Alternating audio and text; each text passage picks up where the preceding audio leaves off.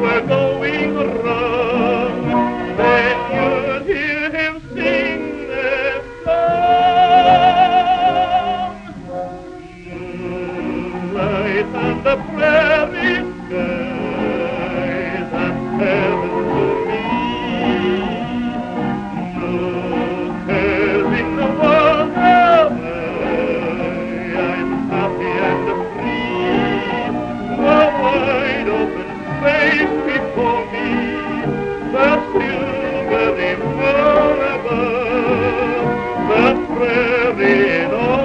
Don't.